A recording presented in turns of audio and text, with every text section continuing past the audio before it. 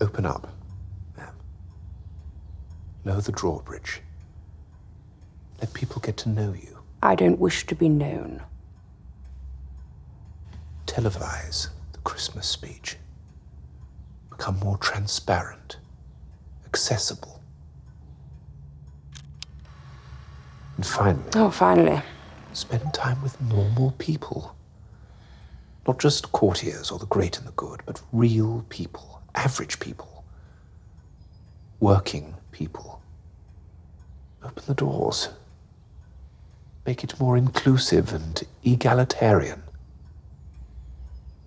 Let normal people get to know you too.